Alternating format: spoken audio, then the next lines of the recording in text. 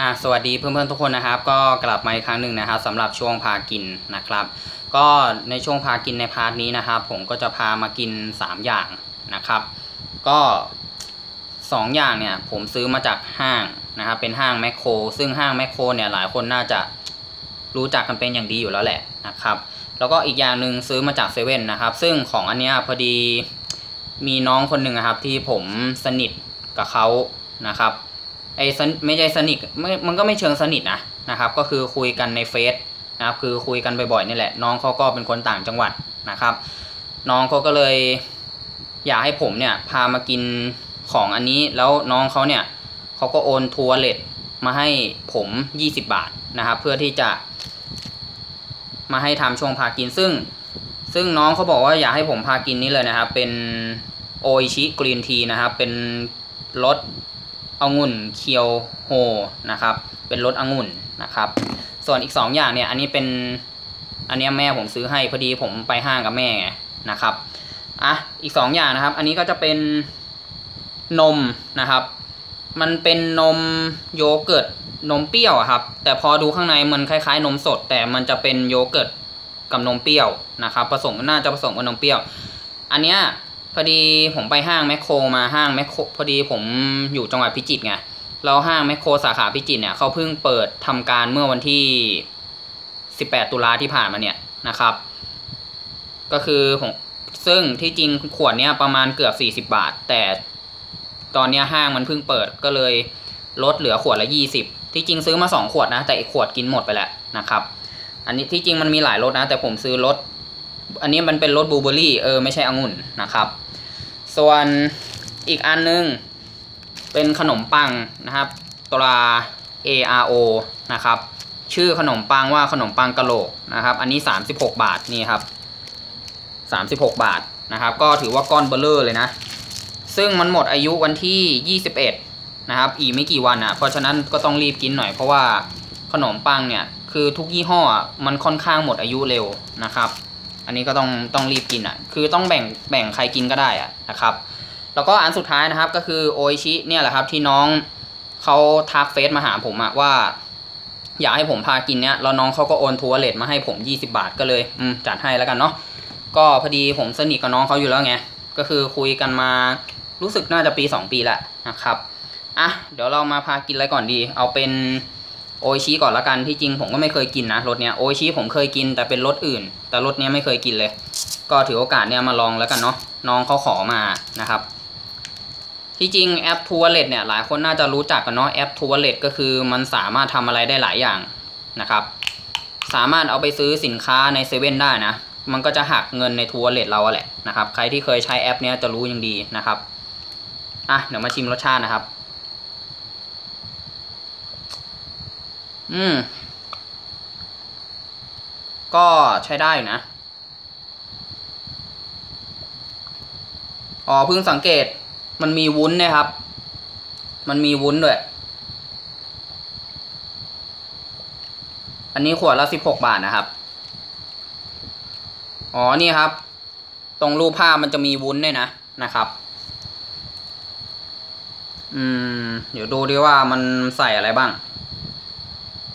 ใส่น้ำชาเขียว ฟุตโตส น้ำตาลวุ้นมะพร้าว น้ำองุ่น แต่อันนี้มัน อ๋อ มันเป็นรสองุ่นนี่หว่า อ๋อ สับสนกันนี่ อันนี้มันเป็นบลูเบอร์รี่ไงนะครับ อันนี้มันเป็นนมนะครับ อืม ก็ใช้ได้อยู่นะ แต่ส่วนใหญ่ แต่ส่วนตัวผมผมชอบกินอิชิตันมากกว่า ส่วนใหญ่ผมจะกินแต่เย็นๆอะ เย็นๆที่เป็นของอิชิตันอะนะครับอะก็เดี๋ยวขออีกสักคำแล้วกันเนาะนะครับ เดี๋ยวเพราะว่าเดี๋ยวเดี๋ยวยังมีของอีกสองอย่างไงนะครับอะก็ประมาณนี้เนาะก็รสชาติก็ถือว่าโอเคอยู่นะครับ มันจะมันมีวุ้นมะพร้าวด้วยไงนะครับอะต่อไปนะครับเป็นนมเอาเป็นนมแล้วกันเนาะ อันนี้เพิ่งแกะเลยนะนะเพิ่งแกะ เนี่ยครับ ต้องหาอะไรมาเจาะก่อนอะเอาช้อนแล้วกัน เดี๋ยวช้อนอันนี้สกรปรกอะอะเอานี้แล้วครับ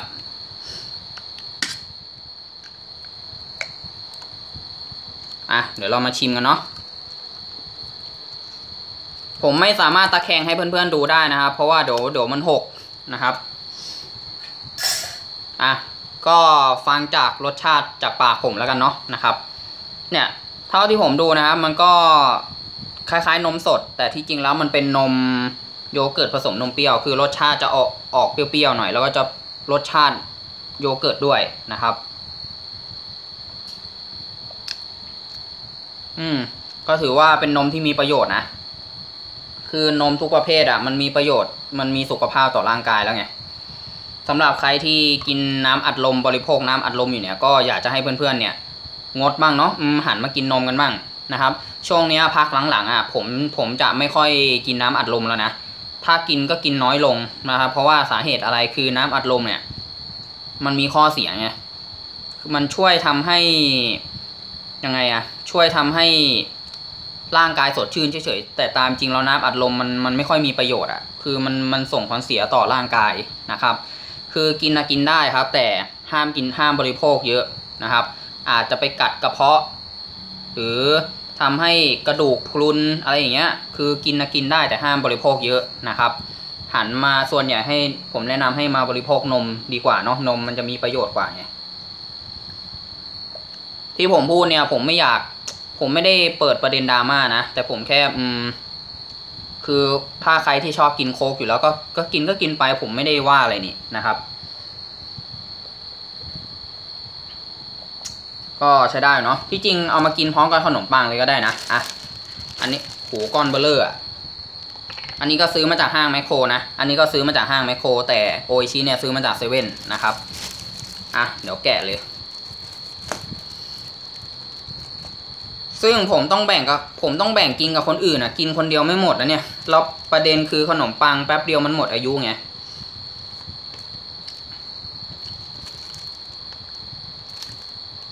โอ้วุ้นยังอยู่ในปากผมอยู่เลยอะวุ้นมะพร้าว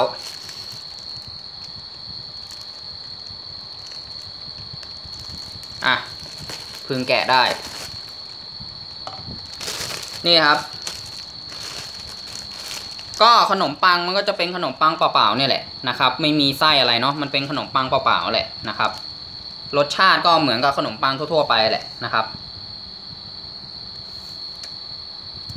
ก็ทานพร้อมกับนมนี่ถือว่าเป็นอาหารเช้าเลยนะนะครับ ถ้าทานพร้อมกับนมเนี่ยเป็นอาหารเช้าเลยเลยนะครับ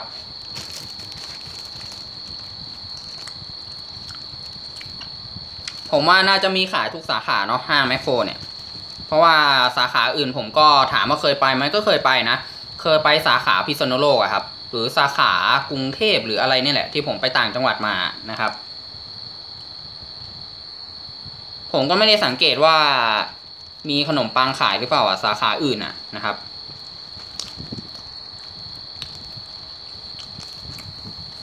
แต่สาขาพิจิตรที่ผมไปเนี่ยเพิ่งเปิดทำการวันแรกเมื่อวันที่ 19 ตุลาเนี่ยนะครับ เปิดเป็นวันแรกเลยนะครับ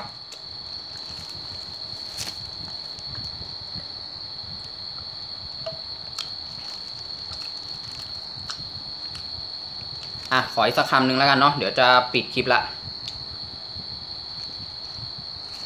อะก็ใครอยากกินนะครับ ก็ไปลองซื้อมากินได้นะ ผมว่าขนมปังเนี้ยน่าจะซื้อได้จากห้าง น่าจะซื้อได้จากห้างแมคโครเท่านั้นอะ่ะ ผมว่าที่อื่นไม่น่ามีขายอะ่ะนะครับ นมอันนี้ก็น่าจะเหมือนกันนะ ผมว่าผมไม่รู้ว่าเซเว่นมีขายหรือเปล่าเพราะผมก็ไม่ได้มองเหมือนกัน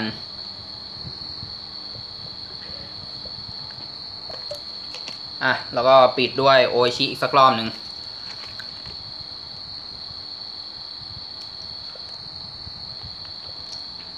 อะก็ประมาณนี้แล้วกันเนาะสำหรับช่วงพากินนะครับ ส่วนสำหรับ Facebook Fanpage นะครับ เดี๋ยวตอนเนี้ย Facebook ผมตอนเนี้ยกลับมาใช้งานได้ละหลังจากที่ที่ผ่านมาเนี่ย Facebook ผมโดนบล็อกนะครับ ก็เลยทำให้ไม่สามารถเข้า Facebook Fanpage ได้นะแต่ตอนเนี้ย Facebook ผมกลับมาใช้งานได้ละเดี๋ยว เดี๋ยวตอนนี้ให้ผมเคลียร์ระบบอะไรให้เรียบร้อยก่อน เดี๋ยวผมก็จะปิดคอมเมนต์ช่วงนี้นะครับใน YouTube นะครับแล้วก็ให้ไปแสดงความคิดเห็นใน Facebook แทน แต่แต่ใน part เนี้ยผมยังเปิดคอมเมนต์ให้เพื่อนๆแสดงความคิดเห็นตามปกตินะครับ ก็ประมาณนี้เนาะนะครับ ก็ก็อย่าลืมคอมเมนต์บอกอะไรกันได้นะครับ ที่ใต้คลิปด้านล่างนะครับอะวันเท่านี้กันเนาะนะครับ ก็ใครที่ชอบคลิปนี้นะครับ กดไลค์แล้วก็กด Subscribe ด้วยแล้วกันเนาะนะครับ ก็ถือว่าวันนี้พามากิน 3 อย่างก็ถือว่าเยอะใช้ได้อยู่นะครับอะพบกันใหม่ในคลิปหน้านะครับ สวัสดีครับ